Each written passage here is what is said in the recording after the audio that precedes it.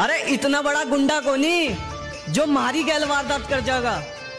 कि इतना बड़ा गुंडा कोनी जो मारी गैल वारदात कर जाएगा। मारी फ़ोटो देख लिए, फ़ोटो फ़ोटो में मर जाएगा।